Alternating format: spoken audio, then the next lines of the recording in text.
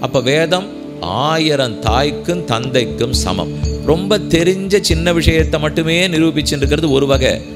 எங்கெங்கேயோ போய் ஆராய்ச்சி பண்ணி ரொம்ப பெரியவர்கள்ட்ட கேட்டு கேட்டு நிரூபிச்சிருக்கிறது மற்றொரு வகை. எந்த நாஸ்திகனும் இப்போ நாஸ்திகனே இல்லை. எல்லாரும் ஆஸ்திகால் தான். என்ன ஒன்று கொஞ்சம் உள்ள ஒரு மாதிரி இருப்பா வெளில ஒரு மாதிரி இருப்பா. தாராளமாக ஒவ்வொன்றையும் விஞ்ஞான ரீதியாக தான் நிரூபித்திருக்கிறோம். கடவுளையும் விஞ்ஞான ரீதியாக நிரூபித்திருக்கிறோம்.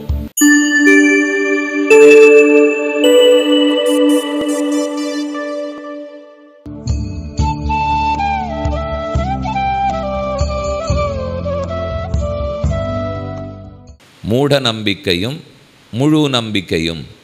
இப்போ தெய்வத்தை எதன் மூலம் தெரிஞ்சுக்கிறோம்? வேதம்ங்கிற சொல்லின் மூலமாக. அப்போ விசுவாசம் வைக்கலாமா வேண்டாமா? இப்போ இத்தனை நாள் தாயினுடைய சொல்லின் மூலமாக நம்பலாம்னு பார்த்தோமே. ஒரு சொல்லால் நம்பலான்னுட்டு. அப்போ வேதம் ஆயிரம் தாய்க்கும் தந்தைக்கும் சமம். மாதா பித்ரு சஹசிரேபியோபி வத்சலதரம் சாஸ்திரம்னு சொல்லுவார்கள். வேதங்கள் ஆயிரம் தாய் தந்தையருக்கு சமம். ஆகவே என்ன சொல்ல அது சொன்னாலும் வேத நூல் ஓதுகின்றது உண்மை. வேத நூல் சொல்லித்துன்னா அது உண்மையாக இருக்கும். அதுதான் தெய்வத்தை காட்டப்போகிறது அப்போ தெய்வத்தினிடத்தில் முழு நம்பிக்கை வைக்கலாம்னு எதன் அடிப்படையில் சொல்கிறோம் பார்த்தா தொட்டா முகர்ந்தா சுவைத்தா? எந்த அடிப்படையும் இல்லை. சொல். சொல்லின் அடிப்படையில். அது வேதம் என்னும் சொல்லின் அடிப்படையில். இப்போ மற்றொரு விஷயம் பார்ப்போம். ஒரு விஷயத்தை நிரூபித்தா நம்பணுமா? அப்போ தான் உண்மையாகுமா? இல்லை நான் நம்பினா உண்மையாயிடுமா? நிரூபித்தா உண்மையாகுமா?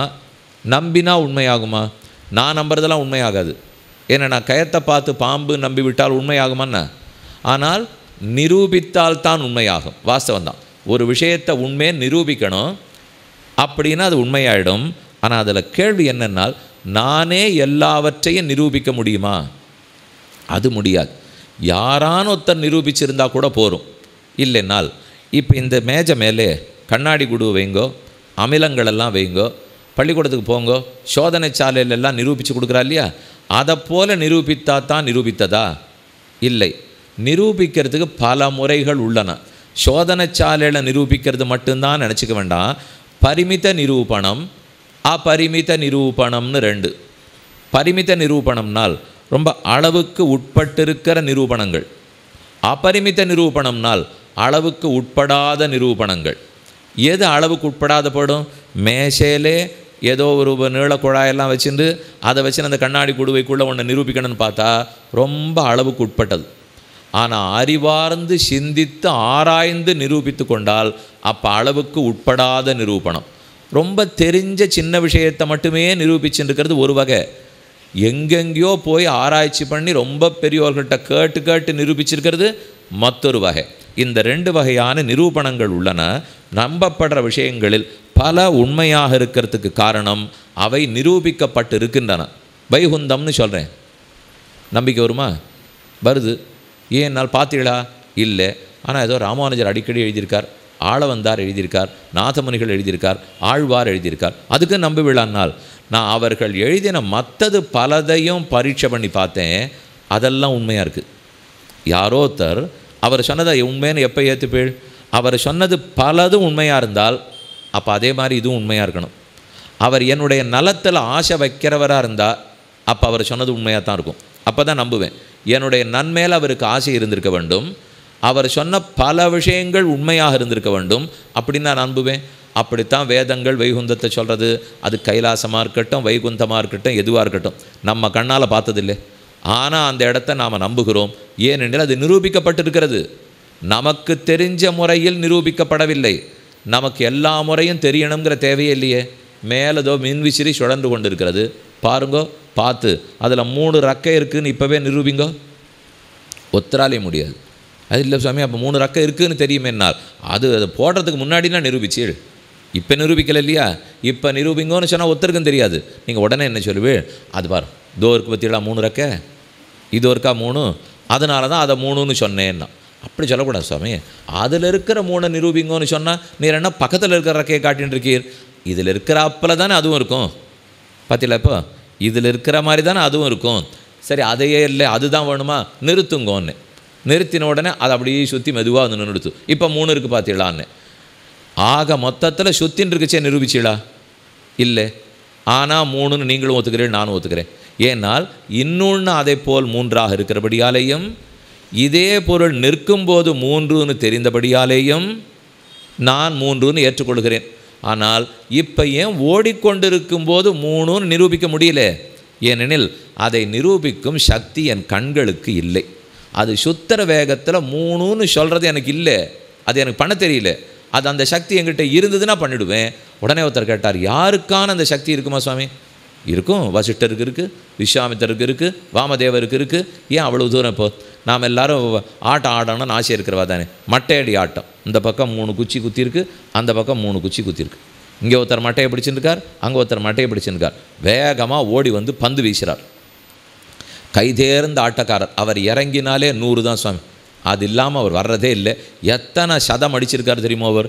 அவர்களுக்கு என்ன வித்தியாசம்னால் அந்த பந்தை வேகமாக வீசுகிறாளோ இல்லை வேகப்பந்து வீச்சாளராக இருந்தால் அது எங்கேயா நூற்று பத்து மைல் வேகத்தில் நம்ம நோக்கி வரும். பந்தை வீசிட்டார்.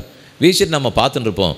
மட்டையை தூக்கிறதுக்குள்ளே நம்மளை தாண்டி மைதானத்தையே தாண்டி போயிடும் அது ஏனால் என் கண் அந்த பந்தை அவ்வளோ வேகத்தில் பார்க்குற பழக்கமே இல்லை அதுக்கு.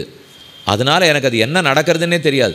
அப்போ யார் தேர்ந்த ஆட்டக்காரர் தெரியுமோ அந்த பந்து நூற்றி பத்து மைல் வேகத்தில் வந்தாலும் அது ஐம்பது மைல் வேகத்தில் வரா பாரி துல்லியமாக தெரியணும் அவருக்கு. அப்போ தான் அது எங்கே போகிறதுன்னு தெரியும் அப்படி ஒரு தட்டு தட்டுனாலாம் நாலு ஆறு போயிட்டே இருக்கு பாருங்க. என்னம்மா போகிறது அது? நம்ம போய் நின்றுட்டு நாலு ஆறுன்னா நம்ம தான் நாலுக்கும் ஆறுக்கும் போகணும். பந்து நாலுக்கு போகாது ஆறுக்கும் போகாது. ஏன் போகாதுன்னா அவருடைய கண் அதுக்கு பழகியிருக்கு. அந்த வேகத்தை அதால் கிரகிக்க முடியறது. ஆனால் அந்த பந்தோட வேகத்தை என்னால் கிரகிக்க முடியல. அப்போது ஒரு சிலருக்கு கிரகிக்கும் சக்தி இருக்கிறது நிரூபிக்கும் சக்தி உள்ளது எனக்கு அந்த சக்தி இல்லை.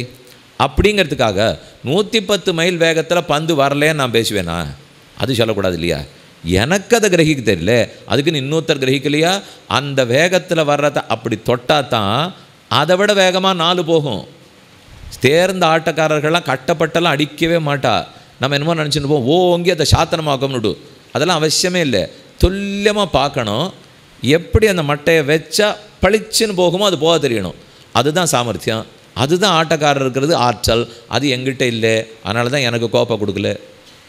அவர்கிட்ட இருக்குது அதனால தான் அவர்கிட்ட கொடுக்குறாப்போ அவர்கிட்ட இருக்குது எங்கிட்ட இல்லைங்கிறதுக்காக நான் உடனே ஒரு புஸ்தகம் போட்டேன்.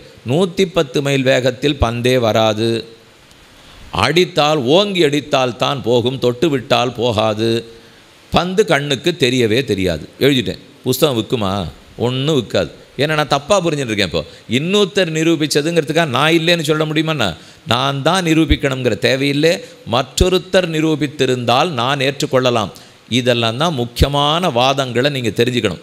இதுக்கு இதெல்லாம் எதுக்கு இப்போ வாதம்? பட்டிமன்றமாக நடத்துகிறீர்னால் இது இந்த காலகட்டத்தில் நிறைய தெரிஞ்சுக்க வேண்டிய தேவை இருக்குது புறத்தியாருக்கு பதில் சொல்கிறதுக்கு இல்லை நம்ம பேரம்பேத்திக்கு சொல்கிறதுக்கு யாரோ வந்து இப்போ கேள்வி கேட்டுருக்குல்ல அது விடுங்க இப்போ பெரிய சமாச்சாரம் இல்லை இப்போ. எல்லாம் அந்த நாளில் இல்லாத நாஸ்திகவாதமாக இன்றைக்கி என்ன புது நாஸ்திகவாதம்? இது எல்லாத்தையும் எவ்வளவோ பார்த்துருக்கோம். எந்த நாஸ்திகனும் இப்போ நாஸ்திகனே இல்லை. எல்லாரும் ஆஸ்திகால் தான். என்ன ஒன்று கொஞ்சம் உள்ள ஒரு மாதிரி இருப்பா வெளில ஒரு மாதிரி இருப்பா. இவ்வளோதான் வித்தியாசமே தவிர யாராக இருந்தாலும் ஆஸ்திகர்கள் தான். யார் இல்லைன்னு சொல்லிட போகிறா உள்ளே போய் பார்த்தா சாஸ்திரநாம பாராயணம் நன்னா நடந்துட்டுருக்கோம் வெளியில் மேடை போட்டு ஒன்றும் கிடையாதுன்னு இருப்பா. ஆனால் உள்ளே போனால் இல்லை பேத்தி கொஞ்சம் ஜுரமாக ஜலதோஷமாக இருந்தது நாற்பத்தி நாள் சாஸ்திரநாம பாராயணம் ஒரு மண்டலம் நாற்பத்தெட்டு நாள் விஷ்ணு சாஸ்திரநாம பாராயணம் வச்சுருக்கேன். ஏன்னா பேத்தி தும்மினா இவ்வளோதான் வேறு ஒன்றுமே இல்லை. அங்கே இருக்கிற மூட நம்பிக்கையெல்லாம் வெளியில் ஒன்றுமே இல்லை. நம்மளாம் ரொம்ப குறைச்சல் மூட நம்பிக்கை இல்லை பெரிய மனுஷால் நினச்சிட்டு இருக்கோம் பாருங்க. யார் மேடையில் மூட நம்பிக்கைன்னு பேசிட்டு இருக்காளோ அவர்கள் வீட்டில் கொஞ்சம் அப்படி திரையை திறந்து பார்த்தீங்கன்னா தெரியும். அத்தனை மூட நம்பிக்கை அங்கே தான் இருக்கும். ஏனால் முதல்ல இல்லாத விஷயத்தை என்னோ பற்றி இருக்கிறார்கள். ஒரு விஷயம் அது உண்மையானதா? எப்படிப்பட்டது? அதை பற்ற திறமையுடையவர்கள் யாரோ? அங்கே சென்று கேட்டால் தான் கண்டிப்பாக தெரிஞ்சுக்கணும். இப்போ விஞ்ஞான பூர்வகமாக விசேஷ ஞானத்தோடு எது நிரூபிக்கப்பட்டிருக்கோ அதைத்தான் ஏற்றுக்கொள்ள வேண்டும். யார் உங்கள்கிட்ட என்ன கேட்பா? விஞ்ஞான பூர்வமாக நிரூபிங்கோ ஏற்றுக்கிறோம் கண்டிப்பாக விஞ்ஞானபூர்வமாக நிரூபிங்கோ நிச்சயமாக ஏற்றுக்கிறோம் எதுவுமே அதுதான். விஞ்ஞானம்னா என்ன? அறிவியல். அறிவியல்னா என்ன? அறிவியல்னா என்ன? விஞ்ஞானம்னா என்ன? ஆங்கில பாடம் படித்து பள்ளிக்கூடத்தில் நாலாவது எட்டாவது பத்தாவது பன்னெண்டாவது படிக்கிறது அறிவியல். அதுதான் விஞ்ஞானம். வேதக்கல்வி படிப்பது மெஞ்ஞானம். அது விஞ்ஞானம் இல்லே நினச்சிட்டுருக்கோம். தப்பான நம்பிக்கை. அதுதான் ரொம்ப தப்பாக புரிஞ்சுட்டுருக்கோம். விஜானம் விஞ்ஞானம் யஜ்யம் தனுதே கர்மாணி தனுதே பிச்ச உபனிஷத் சொல்கிறது விஜானம்னால் விசேஷ ஞானம் விஜானம் அவ்வளோதான் சொல்லுக்கு பொருள். விசேஷ ஞானம் விஜானம் அது என்ன பள்ளிக்கூடத்துக்கு போய் ஆங்கிலம் படித்தா தான் விசேஷ ஞானம் வருமன்னா? அது நம்மளா என்னமோ விஜானம்னா வேறே மெஞ்ஞானம்னா வேறேன்னு நினச்சிட்டு இருக்கோம். மெஞ்ஞானத்தில் சொல்லப்பட்டது ஒவ்வொன்றும் விஞ்ஞான ரீதியாக நிரூபிக்கப்பட்டவையே. அப்போ அந்த விஜானம்ங்கிறதுக்கு அர்த்தம் இல்லை? கண்ணாடி குடுவைன்னு பொருள் இல்லை இதுக்கு. விசேஷமான அறிவுன்னு பொருள். அவ்வளவுதான் நீங்கள் எடுத்துக்கணும். நிறைய விஷயங்கள் சொற்களை தப்பாக தப்பாக பயன்படுத்தியே பழகிட்டோம். அதனால் எத்த சொன்னாலும் ஏற்கவே மாட்டேங்கிறது இப்போ. விஜானம்னா விசேஷ ஞானம். அது வேத விஷயமா விசேஷ ஜானம் இருக்கலாம். மின்சார விஷயமா விசேஷ ஜானம் இருக்கலாம். பொருளாதார விஷயமா விசேஷ ஞானம் இருக்கலாம். எதில் விசேஷமாக ஆற்றல் அதிகமான அறிவோ அதுவே ஞானம்தான். அதுதான் விஞ்ஞானம்னு வைத்துக்கொள்ள வேண்டும். அப்போ மெஞ்ஞானத்திலும் ஆன்மீகத்திலும் அத்தனையும் விஞ்ஞானபூர்வமாகத்தான் நிரூபிக்கப்பட்டுள்ளன. ஆன்மீகம்னா நிரூபணம் கிடையாது. நம்பிக்கை தான் ஆனால் விஞ்ஞானம்னா நிரூபிப்போம் வெறுமை நம்ப வேண்டாம். இதுதானே பொதுவாக பேசுகிறோம் அப்படி இல்லவே இல்லை.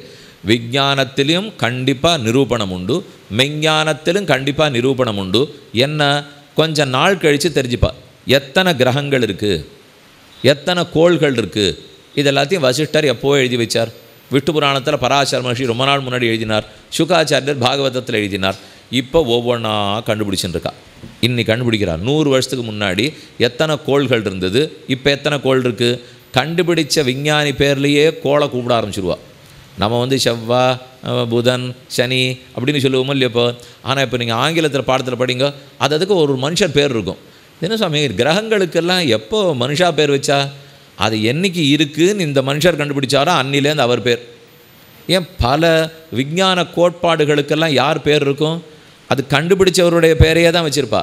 அப்படின்னா அன்னைக்கு அவர் கண்டுபிடிச்சிருக்கார். இப்போ நீங்கள் சொல்லுங்க. இதுக்கு முன்னாடி யார் ஒருத்தர் தண்ணீரில் இரண்டு அமிலம் இரண்டு அணுக்கள் இதுவும் இரண்டு அணுக்கள் ஒரு அணு பழனவாயுவும் சேர்ந்து இது தண்ணீர் அப்படின்னு ஒருத்தர் கண்டுபிடிச்சாரே. அதுக்கு முன்னாடி அந்த ரெண்டும் சேர்ந்து தண்ணீராக இருந்ததா? இல்லை வேறு ஏதாவது சேர்ந்து தண்ணீராக இருந்ததா? தண்ணீர் எப்போவுமே அது ரெண்டு சேர்ந்து தான் இருந்தது. அந்த சுவாமி அன்னைக்கு தான் கண்டுபிடிச்சார். அது முன்னாடி வரைக்கும் அப்படின்னு தெரிஞ்சுக்கலைன்னால் நாம் என்ன நினைக்கிறோம்? அப்படின்னு கண்டுபிடிச்சார் பாருங்க. அதுதான் விஞ்ஞானத்தின் ஏற்றம். அன்னியிலேருந்து தான் தண்ணீர் இருக்குன்னே ஒத்து போங்கிறோம். அது எப்படி முடியும்? தண்ணீர் எண்ணிலேருந்தோ இருக்குது தண்ணீருக்கு என்ன சேர்ந்துருக்குங்கிறத ஒருத்தர் கண்டுபிடிச்சா கண்டுபிடிச்சவருக்கு கண்டிப்பாக மாலை போடுறோம். அது வேண்டான்னு சொல்லலை. அதுக்குன்னு அதுக்கு முன்னாடி தண்ணீரே கிடையாதுன்னு சொல்லலாமா? இன்னொன்று அவர் கண்டுபிடிச்சார் நான் கண்டுபிடிக்கல. அதனால் நாளையிலேருந்து நான் தண்ணீர் குடிக்கிறதா இல்லை. அப்படின்னு வேணால் சொல்லலாமா ரெண்டுமே பண்ண முடியாது. என்னைக்கோ ரிஷிகள் எல்லாரும் ஏழு தீபங்கள் உள்ளன ஏழு கடல்கள் உள்ளன எழுதிட்டா இப்போ முந்தானா கார்த்தால் செய்தித்தாளில் வருது செவ்வாய் கிரகத்தில் ஆழத்தில் நதி ஓடுகிறதாம் தண்ணீர் இருக்கிறதாம் ஆகவே உயிரினங்கள் வாழ்வதற்கு வழி பண்ணலாமாம் எவ்வளவு செலவாக அங்கே போய் கொடுத்தனம் பண்ண ஆரம்பிச்சிட்டாப்போ அப்படின்னால் ஏன் இதே செவ்வாய் கிரகத்தில் இருக்கான்னு இப்போ பாகவதம் சொல்லச்சே ஏன் ஏற்றுக்கக்கூடாது ஏனால் விஞ்ஞானபூர்வமாக நிரூபிக்கலையேன்வா. தப்பான பேச்சு. அவர் விசேஷ ஞானத்தால் தான் இத்தனை ஆண்டுகள் கழித்து இன்னி கண்டுபிடிக்கிறத அன்னைக்கு எழுதி வச்சுருக்கார் அவர். நம்ம பாரதத்திலேயே ஒரு பெரிய குறை. நம்மக்கிட்ட இருக்கிற நிறைகளை நிறையன்னு ஒத்துக்காமல் குறைச்சி குறைச்சியே பேசின்னு இருப்போம். இது நம்முடைய பெரிய குறை. நம்மன்னா நம்ம இல்லை. அதுக்குன்னு ஒரு கோட்டி இருக்குதுன்னு வச்சுங்க அவள் என்ன உண்டோ அவள் அப்படியே தான் பேசினுப்பா பொதுவாக மற்ற நாடுகளாக இருந்தால் ஒன்றுமே இல்லாத இத்தினோண்டு ஒரு விஷயம் இருக்கும். அதை விளக்கு போட்டு விளக்கு போட்டு ஓஹோன்னு காட்டி காசும் சம்பாதிச்சுட்டு போடுவாள் இது அவர்களது. எப்பேற்பட்ட நாடு தெரியுமா எங்களுது? என்ன இருக்குன்னா கீழே தரையில் புல்லெல்லாம் முளைச்சிருக்கு பாருங்கன்னுவா. சாமி எல்லா நாட்டிலையும் புல்லு தான் முளைக்கும். உம்ம நாட்டில் தான் முளைச்சிருக்காருனால் ஆமாம் பாலைவனத்துக்கு நுள்ள புல் முளைச்சிருக்கு பாருங்க. அதுதான் வசத்தின்னு சொன்னேன்னால் அதை பார்க்கறதுக்கு நாலு பேர் எட்டி பார்த்துட்டு இருப்பா. இது என்னமா இருக்குது எங்கள் நாட்டில் எல்லாமே முளைச்சிருக்கேன்னால் முளைச்சிருக்கு. ஆனால் இன்னும் ஞானம் முளைக்கலையே. அது முளைச்சிருந்தா நல்லா இருந்திருக்கும். இப்போ அப்போ நாம் நமக்கு இருக்கிற பெருமையை முதல்ல புரிந்து கொள்ள வேண்டும். இந்த ஜகத்து முழுக்க உண்மையை எடுத்து சொல்கிறது நாம். யாருக்காக இருந்தாலும் இன்றைக்கும் கிரகணம் நடந்தது. ஒன்றுமில்லை ஒரு கிராமத்தில் மூலையில் ஓரக்குடுத்தனத்தில் ஒரு குடிசையை போட்டுண்டு அதுக்குள்ளே ஒரே ஒரு பஞ்சாங்கத்தை ஏட்டு சுவடியில் வச்சுருந்து துல்லியமாக எத்தனை நிமிஷத்துக்கு பிடிக்க போகிறது எத்தனை நிமிஷத்துக்கு நடு எத்தனை நிமிஷத்துக்கு விடுன்னு ஐம்பது வருஷத்துக்கு ஒரு சாமி எழுதி வச்சுருக்காரு. எங்கேருந்து எழுதினார்? இதான் மாறிப்படுத்தானே இப்போ. அதே அமெரிக்கா போனேன்னா ஒரு கோடி டாலர்கள் செலவு பண்ணி நீண்ட தொலைநோக்கி கருவியை ஒன்று வச்சு அதை சுற்றின்னு அப்படியே பன்னெண்டு பேர் உட்காந்து பார்த்துட்டே இருந்து ஒரு நிமிஷம் தப்பாச்சு விடுவோம் இது இத்தனையும் பண்ணி அங்கே ஒரு நிமிஷம் தப்பாக இருக்கும். ஆனால் அவளுக்கு என்ன சாமர்த்தியம்னால் இந்த ஒரு நிமிஷம் தப்பாக வந்தால் அதுக்கு என்ன பேருன்னு ஒரு விஞ்ஞானி பேர் வச்சுருவா. அதுதான் அவளுக்கு ரொம்ப சாமர்த்தியம். ஆனால் நாம் தப்பே இல்லாமல் ஒரு காசு செலவழிக்காமல் ஒழுங்காக ஐம்பது வருஷத்துக்கு இருக்கிற கிரகணத்தை போட்டுட்டு நான் எல்லாரும் திட்டத்தை வாங்கிட்டு இருக்கணும். இதுதான் இவா பண்ணுறது இப்போ. அப்போ என்ன இதெல்லாம் இல்லாது போகிற போகாது தானே வழி இப்போ? அதனால் நமக்கு என்றைக்குமே நிரூபணத்துக்கு குறவே இல்லை. தாராளமாக ஒவ்வொன்றையும் விஞ்ஞான ரீதியாக தான் நிரூபித்திருக்கிறோம். கடவுளையும் விஞ்ஞான ரீதியாக நிரூபித்திருக்கிறோம். என்னமோ சொல்லிட்டு இருக்கலாம் இல்லையாக்கம் கடவுளுங்கிறதெல்லாம் நம்பிக்கையின் அடிப்படையில் தான் கடவுள். ஏன் அப்படிலாம் பேசிகிட்டே இருக்கீங்க இப்போ? பொதுவாக யாரான என்னமோ நம்ம இந்து தர்மம்னு உடனே ரொம்ப வருத்தப்பட்டு சொல்லுவோம் எல்லாம் நம்பிக்கையில் அடிப்படையில் போன்றிருக்கு சுவாமி. இப்படின்னாலே பேரம்பேத்தி ஒத்துக்கவே போகிறதில்லை நிச்சயம் இல்லை நிரூபணத்தின் அடிப்படையில் தான் சென்று கொண்டிருக்கிறது. கடவுள் உள்ளார்னு நிரூபிக்கிறோம். ஆத்மா உள்ளதுன்னு நிரூபிக்கிறோம். கண்ணுக்கு நேர சரீரம் இருக்குன்னு பார்த்து தெரிஞ்சுங்கோ. ஒவ்வொன்று நிரூபிக்கப்பட்டவை தான் நாம் அந்த நிரூபணத்தை படிக்க நேரம் செலவழிக்கவில்லை. அதுதான் இங்கே இருக்கிற ஒரே குறைபாடை தவிர நிரூபிக்கலே நாறு சொல்லிட்டா இப்போ. தாராளமாக இருக்குது ஒன்றே ஒன்று சொல்லட்டுமா? கடவுள் உள்ளார். நூறு வாதம் சொல்கிறேன் இப்போ ஒன்றே ஒன்று சொல்கிறேன் நூறு சொல்லியிருந்தால் இன்றைக்கே முடிஞ்சு போடும் இப்போ. ஒரே ஒரு வாதம் மட்டும் பார்ப்பேன் க்ஷித்தங்குராதிக்கம் சகர்த்திருக்கம். எதனாலே? கடவத்து. கீழே புல் முளைச்சது. மரம் முளைக்கிறது. செடி முளைக்கிறது. இது எல்லாத்துக்கும் யாரோ ஒரு கர்த்தா இருக்கணும். க்ஷித் அங்குராதிக்கம் அங்குரம் முளைச்சதோ செடி முளைச்சதோ எது முளைச்சதோ யாரோ ஒருத்தர் அதுக்கு முளைக்க வச்சவர் இருக்கணும். எதே போல்? கடவத்து. ஒரு பானையை பண்ணேன் பானை இருக்குதுன்னு சொன்னால் பானை இருக்குன்னு சொன்னால் பானை பண்ணவர் இருக்கணுமா இல்லையா? பானை பண்ணவர் இல்லாத பானை வராது. அப்போ பானை என்பது குயவன் இருந்தால் தான் வருமா போலே? இந்த ஜகத்து முழுக்க வந்திருக்கோ இல்லையோ? இந்த உலகம் முழுக்க பிரபஞ்சம் முழுக்க இருக்கே. அப்போ அதை சிருஷ்டித்தவர்னு ஒருத்தர் இருந்தே ஆக வேண்டும் நான் சொல்கிறேன் இப்போ உங்களுக்கு என்ன பதில் இருக்குதுல்ல அது அது எப்படி சுவாமி சொல்லுவீர்? அதுக்கு சிருஷ்டித்தவர்னு ஒருத்தர் இருக்கணுமா? அப்படின்னா ஒருவேளை அது நானாக இருக்குமோ? ஒருவேளை உலகமெல்லாம் படைத்தது நான் நீ நாங்கள் இல்லைன்னு தெரியறதே. நானும் இல்லை நீங்களும் இல்லையே தெரிஞ்சு போச்சு. ஆனால் இருக்கணும்னு தெரியறது. ஒருத்தர் இருந்தாகணும்னு தெரிகிறது அது நானோ நீங்களோ இல்லை என்னும் புரிகிறது. அந்த ரெண்டும் புரிஞ்சதுனால என்ன ஆகுது சட்டுன்னு விட்டு கொடுக்கறதுக்கு மனசு இல்லாமல் இல்லை அப்படிலாம் ஒருத்தர் இருக்க வேண்டிய தேவையில்லையேன்னு பேச ஆரம்பிச்சிருவோம். இத்தனை நியாயமாக தானே பேசியிருந்தீள் எதுவாக இருந்தாலும் நெசவாளி இருந்தால் தானே வேட்டி இருக்கும். பொற்கொல்லர் இருந்தால் தானே சங்கிலி இருக்கும். அதே போல் இந்த பிரபஞ்சம் இருக்குதுன்னு சொன்னால் அப்போ அதுக்கு ஒரு படைப்பாளி இருந்தான் ஆகணும்? நன்னா யோசிச்சார் மூளையை பிழிஞ்சின்றார். இவர் கேட்ட கேள்விக்கு எப்படியான பதிலடி கொடுத்தாகணும்னா? என்னான்னு யோசிச்சு பார்த்தவர் பளிச்சுன்னு ஒரு பதில் சொன்னார். சொல்கிறேன் நன்னா மனசில் வாங்கிக்கோங்க. ஏன்? குடம் உருவாயித்து குயவன் இருக்க வேணும்னு சொன்னீர். வேட்டி உருவாயித்து நெசவாளி இருக்கணும்னு சொன்னீர். சங்கிலி உருவாயித்து அதனால் பொற்கொள்ள இருக்கணும்னு சொல்கிறீர் பிரபஞ்சம் உருவாயித்து அதனால் படைத்தவன் இருக்கணும்னு சொல்கிறீர் நான் ஆக்ஷேபிக்கிறேன் பிரபஞ்சம் உருவாகவே இல்லை. இருந்து கொண்டே இருக்கிறது. சொல்லிட்டா அப்போ ஆள் தேவையில்லையோ இல்லையோ? நான் இப்போ வேணும்னு சொல்கிறேன் பிரபஞ்சம் உலகம் உருவாகவே இல்லை. அது உருவானதில்லை. எப்பவுமே இருக்குது எப்பவுமே இருக்குன்னுட்டா படைப்பாளி தேவையில்லையே. ஒன்று உருவானாத்தானே படைப்பாளியே வேணும் என்று சொன்னால் பண்ண முடியாது பாருங்க. ஏன்னால் எது எது அவயவத்தோடு இருக்கிறதோ எது எது அங்கத்தோடு இருக்கிறதோ அது உருவானதாக தான் இருக்கணும். ஏதேது அங்கங்களோடு இருக்கிறதோ ஏதேது அவயவத்தோடு இருக்கிறதோ அது தானாக இருந்துட்டு இருக்க முடியாது உருவாகித்தான் ஆகணும் எது? பாருங்கள் இப்போ இந்த நாற்காலி உருவாகித்தான் ஆகணும். நிச்சயமாக சொல்லுவேன். ஏன்னால் இது ஒரு அங்கத்தோட அவயவத்தோட உருவாயிருக்கு இப்போ. இதுக்கு நாலு கால் இருக்குது சாஞ்சிக்கிறதுக்கு இடம் இருக்குது அதை போல் இருக்கா? இந்த காலி? ஆமாம் இதுக்கும் அப்படித்தான். இந்த மண்டபம் அவயவத்தோடு இருக்குது இந்த உடலே அவயவத்தோடு இருக்குது எப்போ இது அங்கங்களோடு இருக்கிறதோ அப்போ உருவாகித்தான் ஆகணும். ஒன்று உருவாகலேன்னு நீங்கள் சொல்லணும்னால் அங்கங்களே இல்லாத இருக்கணும். அங்கங்கள் இல்லாத பொருள் நீங்கள் தேடி தேடி பார்த்தாலும் கிடைக்கவே கிடைக்காது. எந்த பொருளாக இருந்தாலும் அவயவத்தோடு இருக்கும். ஒரு பானை சொன்னால் நன்னா உடச்சிடுங்க. உடச்சிட்டா சின்ன சின்ன மண்ணு தொகளை எடுத்தா அதுக்கு அங்கங்கள் இல்லையே. மண் தொகலுக்கு அங்கங்கள் ஏன் அப்படின்னு பார்க்குறது இப்போ? இருக்குது ஒரு மண் தோல் எடுத்துட்டால் அது ஆறு பட்டையோடு எட்டு பட்டையோடு இருக்கும். அப்போ அந்த ஆறு பட்டைக்கு ஆறு பக்கம் இருக்குதுன்னு அர்த்தம். எட்டு பக்க பட்டையாக இருந்தால் எட்டு பக்கம் இருக்குதுன்னு அர்த்தம். அந்த பக்கம் இருக்குன்னாலே அங்கே இருக்குதுன்னு அர்த்தம். அதனால் ஏதேது அங்கங்களோடு கூடி இருக்கிறதோ அதெல்லாம் உருவாகி இருக்க வேண்டும். இந்த பிரபஞ்சம் முழுக்க அங்கங்களோடு இருக்கா இல்லையா? ஆமாம். இப்போ நீங்கள் எழுதிக்கணும். ஏதேது அங்கங்களோடு இருக்கிறதோ அதத்தனை அத்தனை உருவாகி இருக்க வேண்டும். பிரபஞ்சம் அங்கத்தோடு தான் இருக்கிறது. ஆகவே உருவாகி இருக்க வேண்டும். முதல்ல முடிச்சுடுங்க. படுத்து சொல்கிறேன் ஏதேது உருவாகி இருக்கிறதோ அதற்கெல்லாம் படைப்பாளி வேண்டும். இது உருவாகி இருக்கிறது ஆகவே படைப்பாளி வேண்டும். அந்த படைப்பாளி யாராக இருப்பார்? நானோ நீங்களோ இல்லை. நிச்சயமாக செய்ய முடியாது. அந்த படைப்பாளி எப்படிப்பட்டவராக இருக்கணும்? போர்க்கொல்லரை விட கோயவனை விட நெசவாளியை விட தச்சனை விட அனைத்தும் தெரிந்தவராக இருக்க வேண்டும்.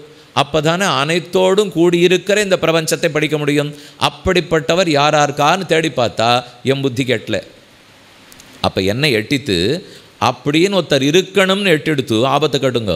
அப்படின்னு ஒருத்தர் இருக்கணும்னு எட்டி விட்டது ஆனால் அவர் எப்படி இருப்பார்னு கணிக்க எனக்கு தெரியல. அது ஒருத்தர் இருந்து தான் ஆகணும் நான் நியாயமாக நிரூபணம் பண்ணிவிட்டேன் ஆனால் அவர்ன்றவர் எப்படி இருப்பார்னு நீர் சொல்லுமேனால் தெரியல. இப்போ அடுத்தது என்ன பண்ணுவீள்? பக்கத்து வீட்டுக்காரரை கேட்பீள்? ஏற்று வீட்டுக்காரர் கேட்பீள்? அவரும் வா கையை கோத்துன்னு வேணா போய் தேடுவோம்.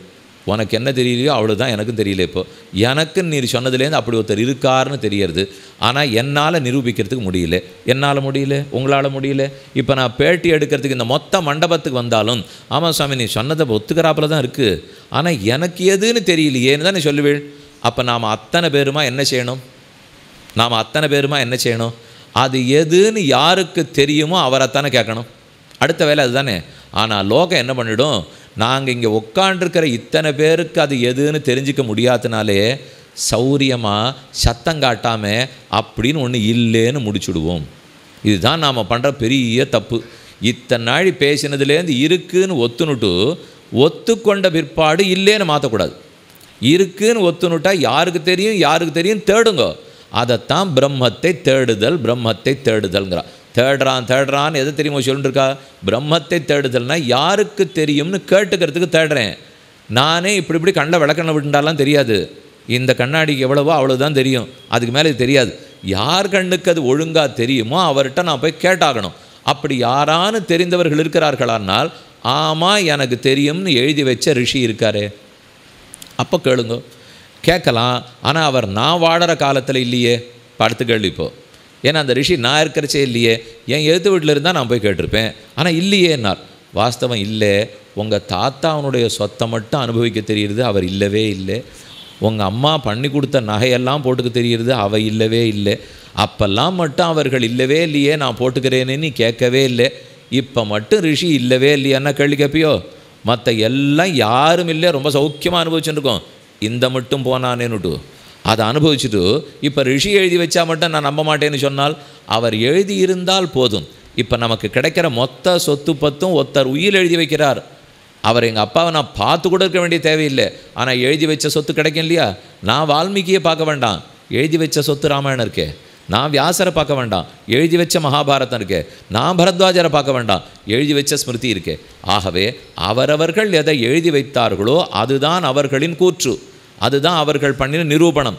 அந்த நிரூபணத்தை கொண்டு தான் நாம் ஏற்றுக்கொள்ள வேண்டும். திரும்ப திரும்ப நீ கொஞ்சம் சிந்திச்சு பார்க்கணும். கொஞ்சம் சிரமமான விஷயம் சொல்லியிருக்கேன். ஆனால் இதுதான் உண்மை. இந்த உண்மையை நீங்கள் யாரும் ஒன்றும் தெரியாத விஷயத்தை நம்ம சொல்லல இப்போ. அடிப்படையாக யாரும் நிரூபித்து தெரிஞ்சுக்கலாம். நம்ம யாருக்கும் இப்போ புத்தி இல்லாத இல்லை என்ன அதை கொஞ்சம் மழுங்கடிச்சு வச்சுருக்கோம். கொஞ்சம் ஒரு பட்டை திட்டினா எல்லாம் சரியாக போடும் கொஞ்சம் நேரம் நான் அஞ்சு வயசு பத்து வயசாக இருக்கிறச்சே மிதிவண்டி ஓட்ட கற்றுண்டது அதுக்கப்புறம் நாற்பது வருஷம் ஓட்டவே இல்லை. இப்போ எங்கேயோ ஒரு கிராமத்துக்கு போயிருந்தேன். வேறு ஒன்றும் வண்டி எல்லாம் இல்லை. போகணும்னா இந்த அங்கே ரெண்டு சக்கர மிதி வண்டி இருக்குது வேணும்னா ஓட்டுங்கன்னார். இதுவா? இதில் நான் ஏறியே வருஷம் நாற்பதாருது இது ஏறுனா நிற்பமா விழுந்துருவோமான்னு கூட தெரியல. இல்லை வேணா ப பாதையில் இருக்கிறவ எல்லாரையும் வேணா வீட்டுக்கு போச்சு விடலாமா அவளை வேணா வ- வழியில் ஒத்துரும் இல்லாமல் அப்புறம் வேணா ஓட்டலாமா? இதெல்லாம் பயந்துருந்தேன். அதெல்லாம் ஒன்றுமில்லை ஓட்ட தெரிஞ்சவன் ஓட்டியே தீருவான். ஏறு. அப்படின்னார். ஏறி உட்காண்டேன் ஒரு ரெண்டு நிமிஷம் இப்படி இப்படி ஆடித்து கையெல்லாம் நடுங்குறாப்புல இருக்குது காலெலாம் நடுங்கிறாப்புல இருக்குது ஒரு அஞ்சு நிமிஷத்துக்குள்ளே கொஞ்சம் சக்தி வந்தது. பிடிச்சிட்டு இருக்கிறது ஒழுங்காக இருந்தது நிமிந்து பார்த்தேன்ப்போ அப்போ என் வாத்தியார் முதுகல் ஒன்று வச்சு நிமிந்து ஓட்டு. அப்படின்னு சொன்னது ஞாபகம் வந்தது. இன்னும் நிமிந்து உட்காண்டேன் ஒரு ராஜா போகிற மாதிரி தோணித்து அவ்வளவுதான். அப்புறம் பிடிக்க முடியாது. அவ்வளவுதான் நம்ம பாடுப்போம் கொஞ்சம் பழக்கத்தை விட்டுருக்கோம். ஒரு கசக்கு கசக்கி மூளைக்கு வேலை கொடுக்க ஆரம்பிச்சிட்டோம் தானே எல்லாம் புரியறதுக்கு ஆரம்பிச்சிடும் புரியாது புரியாது வேதாந்தம் கட்டம் கட்டம்னு எத்தனை நாள் சொல்லிட்டு இருக்க போகிறோம் வேதாந்தம் நமக்கு தான் கொடுத்துருக்கார் பகவான் கீதை நமக்கு தான் கொடுத்துருக்கார். இந்த ஒவ்வொன்றும் நிரூபிக்கப்பட்டவை. அதனால் நிரூபிக்கப்படாததை நம்புங்கோள். யாரும் சொல்லவில்லை. நிரூபிக்கப்பட்டதை நம்புங்கோள். ஏற்கனவே நிரூபிக்கப்பட்டிருக்கிறது. அத்தை ஏற்றுக்கொண்டு நம்பினால் போரும். உங்கள் வேலுக்குடி டிஸ்கோர்சஸ் யூடியூப் சேனல் இரண்டு லட்சம் சப்ஸ்கிரைபர்ஸ் கொண்டுள்ளது. உங்களின் பேராதரவுக்கு நன்றி. வேலுக்குடி சுவாமியின் பல உபன்யாசங்கள் வித்தியாசமான தலைப்புகளில் தொடர்ந்து வெளிவர உள்ளன. இன்றை சப்ஸ்கிரைப் செய்யுங்கள்.